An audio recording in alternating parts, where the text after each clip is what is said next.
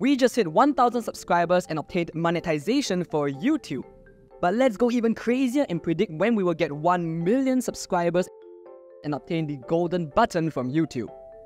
But not only that, we're gonna also predict when we obtain 10,000 subscribers, 100,000 subscribers, obtaining the silver button, and let's go even crazier and predict when we get 10 million subscribers, obtaining the diamond play button from YouTube. Let's plot a scatter diagram that measures how many subscribers this channel has obtained after a certain number of months. As the amount of time passes, the number of subscribers increase at an increasing rate, which suggests to us that the number of subscribers change according to an exponential model. However, it is really difficult to predict the equation of the curve since there are not many math tools that we can use to do so. If instead we convert it into a straight line by taking logarithms, we do have many tools to calculate this prediction. The data points after modification resemble that of a straight line. This suggests that we should model these points using a best fit line. But there are many lines that we can choose from to make our prediction. Which of these lines is really the best line? The idea is to compare the line with the data points itself.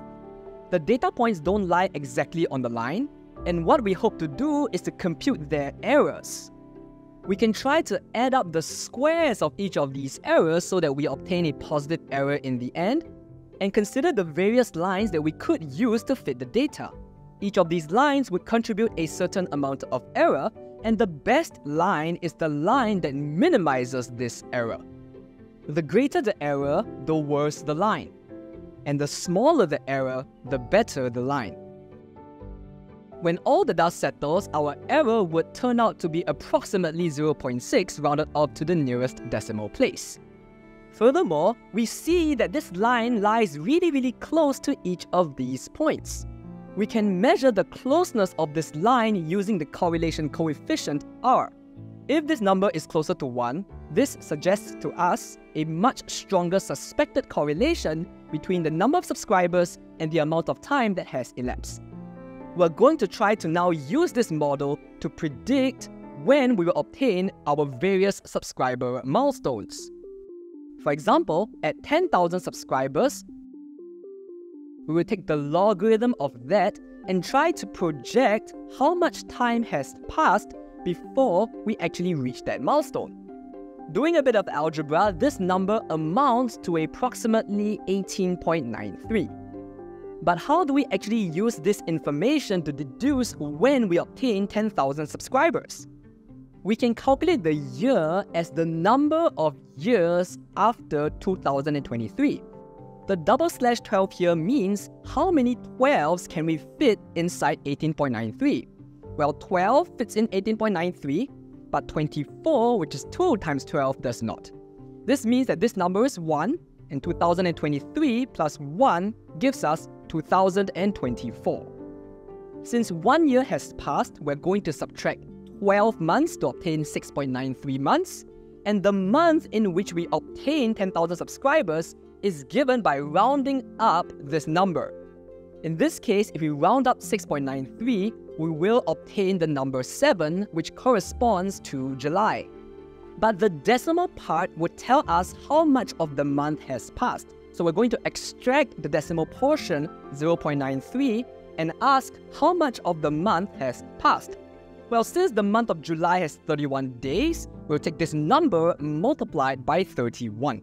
And we're going to round up to obtain the integer number of days that passed in that month. Plugging these numbers into our calculator, we are going to obtain the 29th day. In other words, we predict that on the 29th of July 2024, our channel is going to obtain 10,000 subscribers. Well, what about 100,000 subscribers?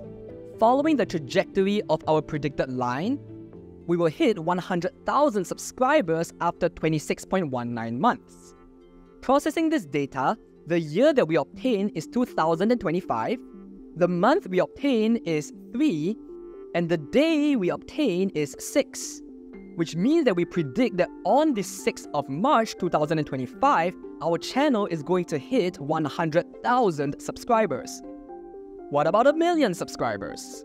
If we repeat the exact same process, the amount of time that has passed is 33.45 months, which amounts to the date 15 of October 2025. But going even crazier, what about 10 million subscribers?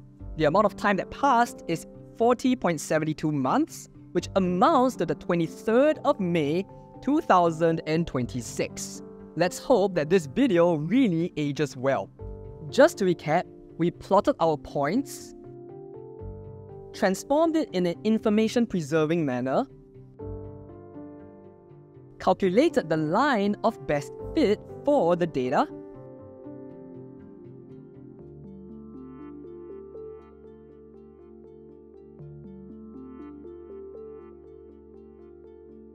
and then cheekily used it to predict the different dates in which we obtain our various subscriber milestones.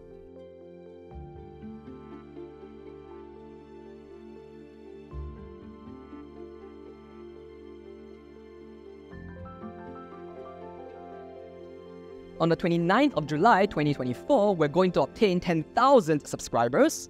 On the 6th of March 2025, we're going to obtain 100,000 subscribers. And if the trend line continues, on the 15th of October 2025, we obtain a million subscribers. And carry it further on the 23rd of May 2026, we should be able to get our diamond play button. Getting monetized couldn't have been done without you guys who enjoy these videos. But what was the video that pushed this channel beyond a thousand subscribers? That is the video in the screen here.